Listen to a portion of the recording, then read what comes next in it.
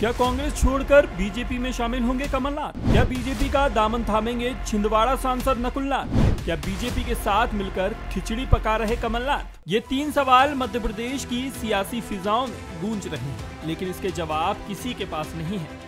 वो कहते हैं ना, बिना आग के धुआँ नहीं उठता। इन सवालों के धुएँ के पीछे कांग्रेस के राष्ट्रीय प्रवक्ता आलोक शर्मा के बयान का अहम रोल है। ये बयान आग की तरह इस तरह फैला, कमलनाथ के कांग्रेस छोड़ने की अफवाहें धुएँ की तरह चारों तरफ़ फैल गई। कोई मतलब कहने में कोई गुरेज नहीं है कि कहीं ना कहीं कमलनाथ जी के जितने पाँच छह साल के क्रियाकलाप रहे, कहीं ना कहीं ऐसा दिखता है कि कोई बीजेपी से सांठ गांठ तो नहीं थी उनकी? तो सुना आपने, आलोक शर्मा का ये बयान फ़िलहाल जमकर सुर्खियाँ बटोर रहा है। उन्हें इस बयानबाजी के लिए कांग्रेस ने नोटिस देकर दो दिन में जवाब भी मांगा है।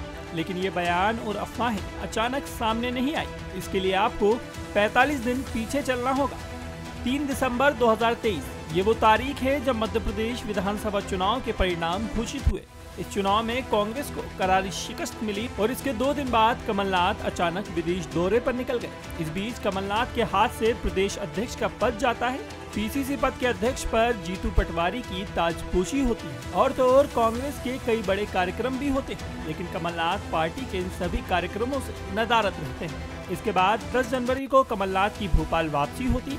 वो विधायक पद की शपथ लेने विधानसभा पहुँचते हैं। उनसे पूछा जाता है कि आपको पीसीसी चीफ के पद से पार्टी ने हटा दिया है, पर आप क्या कहेंगे? तो उनका जवाब होता है, ये आप उनसे, यानी कांग्रेस आला कमान से पूछिए। शपथ लिए?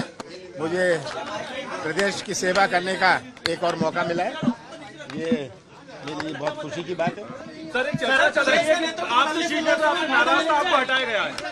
ये आप उनसे पूछिएगा। सर सर सर इंडिया गठबंधन का क्या देखते हैं? इंडिया गठबंधन इंडिया गठबंधन की बात चल रही है।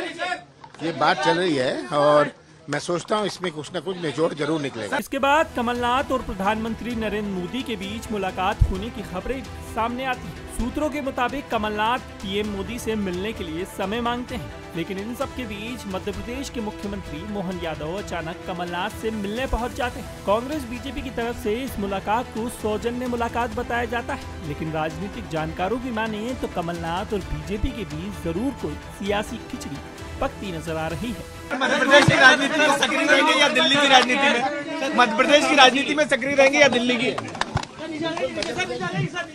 मैं मध्य प्रदेश में सक्रिय रहूँगा। कांग्रेस दिल्ली में भी जाऊँगा। बहरहाल विधानसभा चुनाव में प्रचंड जीत के बाद बीजेपी मिशन 29 में जुट गई। हाल ही में सीहोर में संघ और बीजेपी की बड़ी बैठक हुई। इस बैठक में सभी बड़े नेताओं ने प्रदेश की 29 सीटों पर फतेह हासिल करने की बात कही। फ़िलहाल मध्य प्रदेश की 28 सीटों पर बीजेपी का कब्जा है। इस साल होने वाले लोकसभा चुनाव में बीजेपी मध्य प्रदेश में क्लीन स्वीप करने के मूड में है। हालाँकि बीजेपी के इस सपने में सबसे बड़ा रोड़ा कांग्रेस का गढ़ छिंदवाड़ा है। सियासी पंडितों की माने तो अगर कमलनाथ बीजेपी में शामिल होते हैं तो बीजेपी का मिशन उनतीस का सपना पूरा हो सकता है।